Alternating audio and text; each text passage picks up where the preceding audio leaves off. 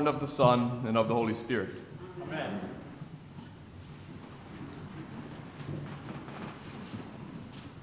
Welcome to Quinquagesima Sunday. Ooh. Now, don't worry, Quinquagesima is not a new COVID variant. Don't worry.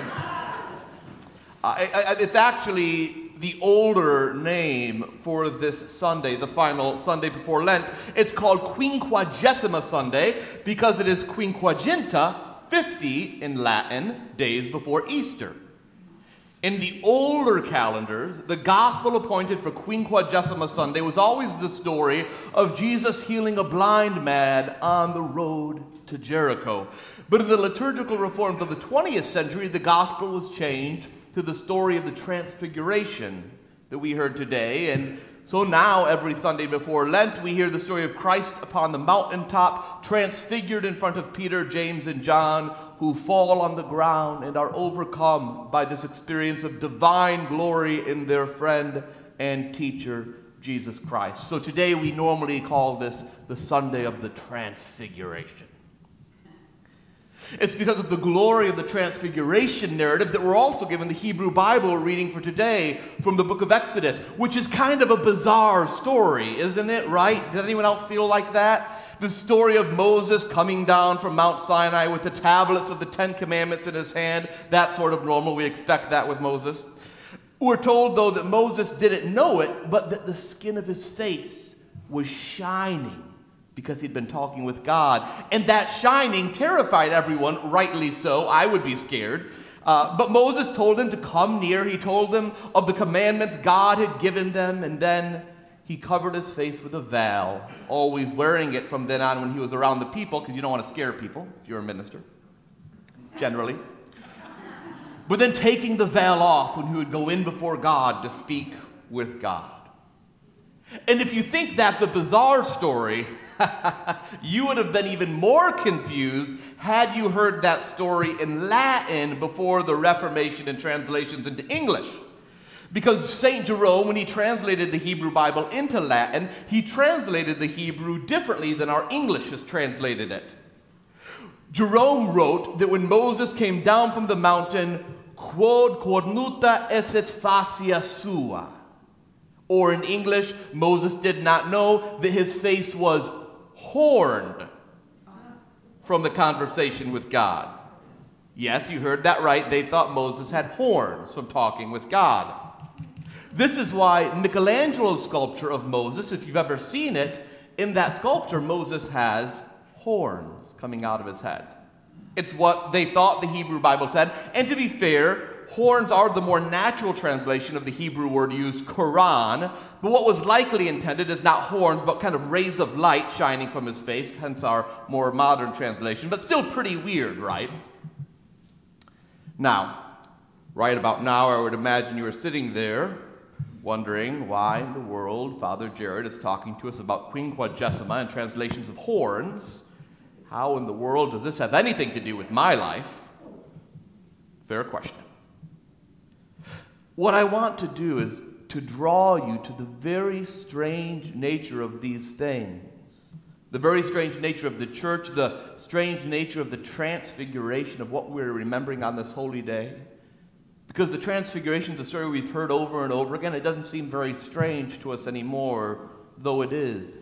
I mean, the idea that, that Jesus, this backwoods rabbi, stood on a mountaintop and Moses, the great lawgiver, and Elijah, the great prophet, appeared with him and spoke with him. The idea that this rabbi's entire body was shot through with the radiance of God's light, all of this is actually rather strange and bizarre. The idea that any human could blaze with the brightness of the very glory of God is strange. It's probably why Peter and James and John didn't tell anyone about this after the fact. And Paul's insistence, his insistence in the epistle reading for today, that you, beloved of God, are also being transformed into the very glory of God from one degree of glory to another, or as the collect for today says, that you are being changed from glory to glory until you also will shine with God's glory. This is odd and strange. as well. I think the literary context of Exodus 34 might help us find a way in, though, a way into these strange and bizarre images and stories. Because if you know your Exodus narrative, or if you remember the Ten Commandments or Prince of Egypt, if, re- if watching movies about the Bible is more your thing than reading it, then you would know that this is not the first time Moses brought the people the tablets of the law, right? The first time while Moses was up on the mountaintop receiving the law, the people got tired of waiting for him, tired of waiting for their God. They wanted something to worship, and so they had Aaron make them a golden calf. And they worshiped the golden calf, and they engaged in the religious ecstasy of idolatry and reveling, chasing pleasure instead of patience. You remember the story? Remember, God saw what happened with the people as he was up on the mountain with Moses, and his anger burned against the people. He wanted to destroy the people of Israel, but Moses begged God to relent. Not to destroy the people, but to give them a chance to repent. But then, when Moses came down the mountain and saw the sin for himself, he threw the tablets to the ground, shattering them in the same way the people had shattered their, co- their covenant with God. He took the calf, burned it, ground it into powder, and made them drink the results of their sin. He condemned them for this chasing of pleasure instead of waiting patiently for the one true God. And, and God didn't destroy the people, but God did send a plague upon the people as punishment. And after that plague, the people of Israel begged God they begged God to forgive them, to give them another chance to be God's people. And Moses went into the tent of meeting outside the camp and talked with God face to face, the way a person would talk with a friend. Moses asked God, please stay with this sinful people. He asked for God's presence to go with them as they moved through the wilderness on their way to God's promises. And God said he would do this, he would stay with the people. But then Moses said one of the boldest things any human in Scripture has ever said. He wanted confidence that God would stay with the people. And so he said to God, Then show me your glory, I pray. Now, if you remember, at the beginning of Exodus, in chapter 3, when Moses first encountered God in the burning bush, Moses hid his face in fear of the glory of God. But now Moses is asking to see the glory of God himself. And God responded to Moses' request, saying that he would hide Moses in the cleft of the rock. He would cover Moses with his own hand, and that his glory would pass by Moses. He told Moses to cut two new tablets of stone, and that God would write the commandments of the law on these two tablets with his own finger. So Moses went up to Mount Sinai once more. God descended in a cloud once more and stood with Moses, proclaiming his name and revealing his glory. And do you know what God said when he revealed his true self to Moses in all of his glory?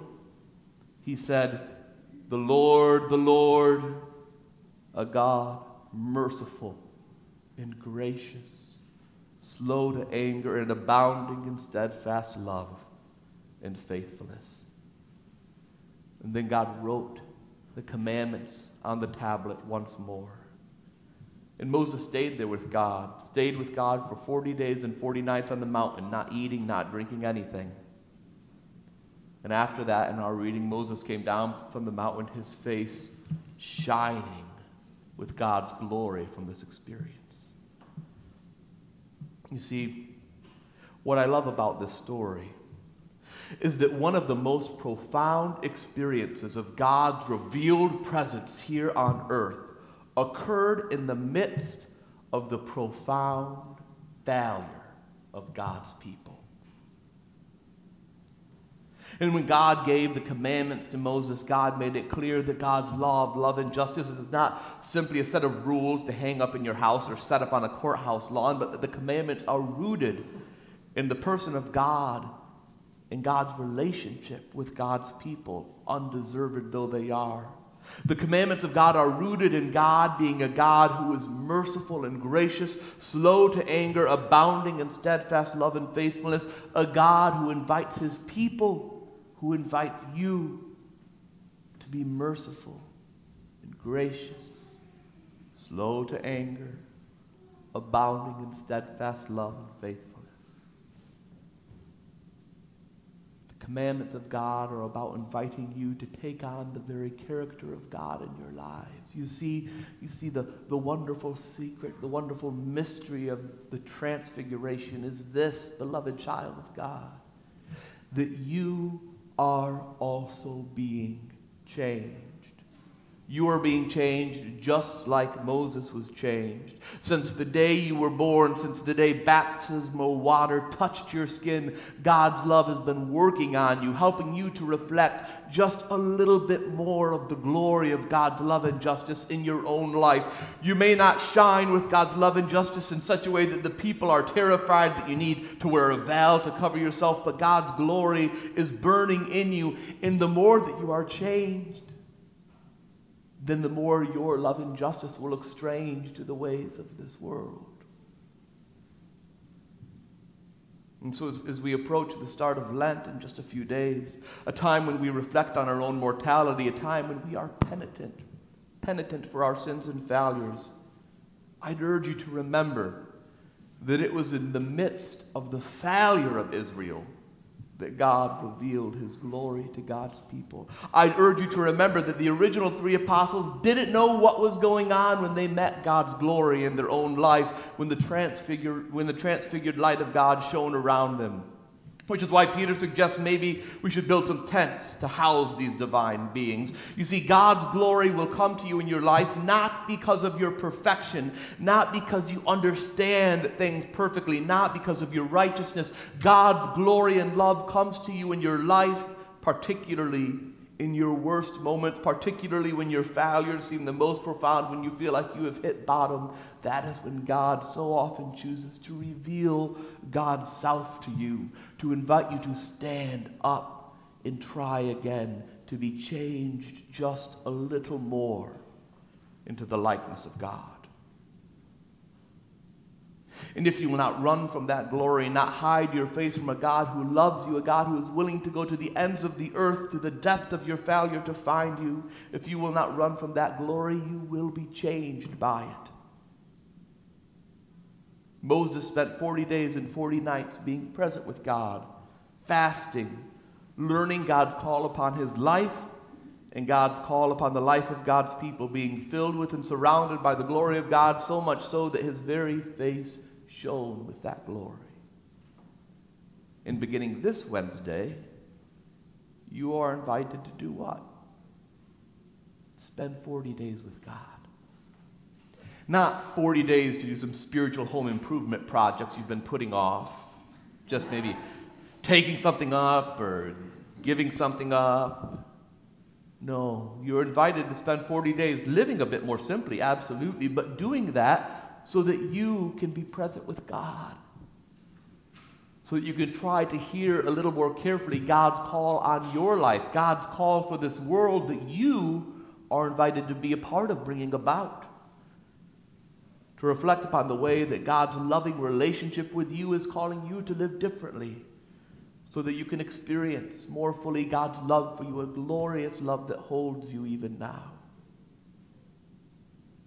As one scholar says, what we see in all of this is the intimacy of faith, the closeness of God that is the defining factor in the transfiguration. Our closeness to God molds who we are. It is proximity to the divine that enables us to embody and radiate God's love. It is closeness to Jesus that calls and sustains us to do the right thing. Cultivate that closeness in these 40 days. Or as the 14th century German, Mister, German mystic Meister Eckhart once said, do not think to find holiness upon doing. Holiness must be founded upon being. Works do not make us holy. It is we who will make works holy. It is who you are is a glorious child of God. It is the more you let that glory shine in your own life that your works will be sanctified into the very holiness of God, a holiness our world needs right now. A holiness that is already present in you. If you will open yourself up and let yourself be changed little by little, so that when people encounter you, they cannot help but see the light of God's love in your life. They cannot help but see the fire of God's justice burning in you. You are being changed from glory to glory. And I cannot wait to see who you will be at the end of these next 40 days. Amen.